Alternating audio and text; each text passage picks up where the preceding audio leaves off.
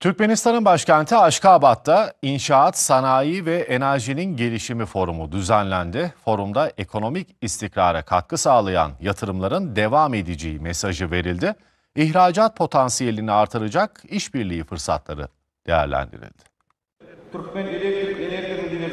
Aşkabat'ta İnşaat Sanayi ve Enerjinin Gelişimi Forumu düzenlendi. Türkmenistan'ın büyüyen endüstriyel potansiyeli gözler önüne serildi. Sanayi ve İnşaat Üretim Bakanlığı'nın ev sahipliğindeki foruma hükümet üyeleri, kamu kurum ve kuruluşlarının yöneticileriyle aralarında Japonya, Çin, Hindistan ve Türkiye'nin de bulunduğu 30 ülkeden çok sayıda iş insanı katıldı.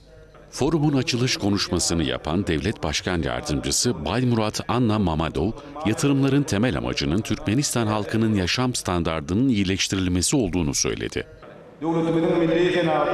Ekonominin lokomotifi olan inşaat, sanayi ve enerji sektörlerinde büyük reformlar gerçekleştirilmekte. Türkmenistan halkının yaşam standardı her geçen gün iyileştirilmekte. Bina ve yapı tasarımlarında milli geleneklerle modern teknolojiler birleştirilmekte. Arkadağ şehrinde olduğu gibi kapsamlı projeler hayata geçirilmektedir. Forumda Türk firmalarının inşaat ve enerji yatırımlarının Türkmenistan ekonomisine katkısı da ele alındı. Burada yaşanan değişimin bir parçası olmak bizim için bir gurur vesilesi.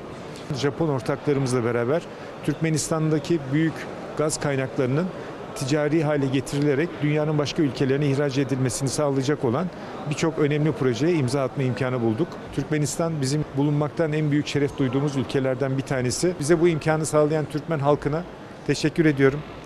Türkmenistan Cumhurbaşkanı'na teşekkür ediyorum. Yenilenebilir enerji kaynaklarının da konuşulduğu forumda sektör temsilcileri enerji alanında Türkmenistan'la yakın işbirliği içinde olduklarını ifade etti. Foruma Çin'den katılıyoruz. Rüzgar ve güneş enerjisi santralleri kuruyoruz. Türkmenistan'ın enerji santrali sisteminde kendi pazarını geliştirmesine yardımcı oluyoruz.